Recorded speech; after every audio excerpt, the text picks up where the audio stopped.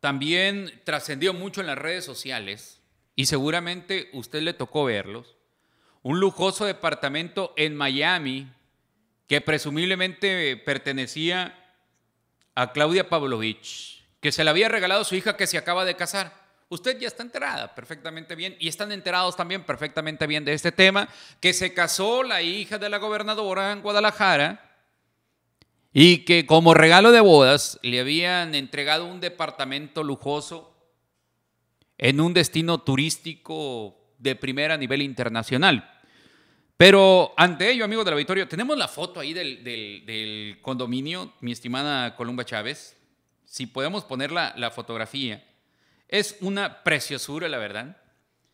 Pero ya salió la gobernadora a dar la declaración en donde dijo que, pues no es cierto. La gobernadora de la entidad desmiente tener una propiedad en Estados Unidos. Se dice víctima de campaña negra frente al proceso electoral. La gobernadora Claudia Palovich Arellano señaló que es víctima de una fake news. ¿Cómo va a prevalecer esta palabra en los próximos días? Eh? Ya no dice la gente, es mentiras. Mentira pura la que le están diciendo a usted. Ahora se llaman fake news, ¿no? Dice la gobernadora que es news, donde se le acusa de tener un lujoso departamento en Miami, allá en los Estados Unidos, el cual habría costado una estratosférica cifra de dólares. No, hombre. La mandataria estatal indicó que el uso responsable de las redes sociales es muy importante por lo que llamó a la población a no caer en este tipo de supuestas noticias como la señalada. Asimismo, aseveró que está siendo víctima de una campaña negra en donde le involucran a ella y a su familia en diversas situaciones que no son ciertas, en medio de un proceso electoral. Ella fue eh, lo que escribió al respecto. Qué importante el uso responsable de las redes sociales. Pero hay quienes las utilizan para sembrar fake news. Se han difundido varias que me involucran a mí y a mi familia. Les pido no caer en ellas. Sería preocupante que estas campañas negras sean por la efervescencia electoral.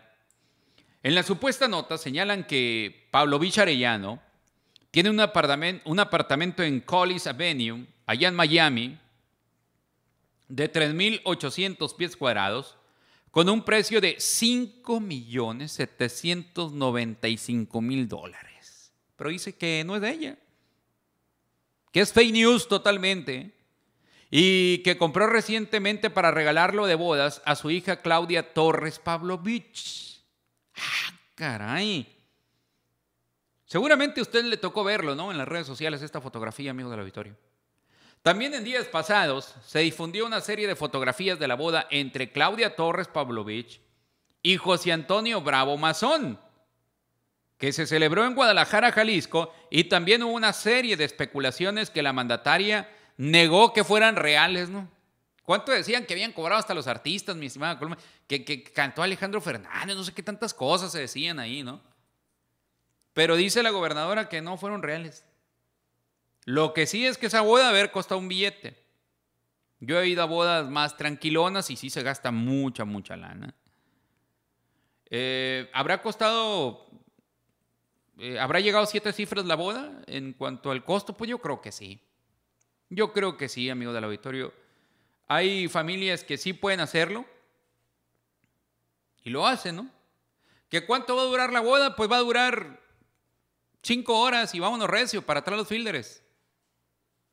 Y gastar una cantidad, ya decir 200 mil pesos, 300 mil pesos, ya es mucho, ¿no? Bueno, para usted, para mí, para muchos mexicanos, para la gran mayoría de los mexicanos. Para una diversión de cinco horas y para que quede grabado para la historia, pues como que sí es mucha lana.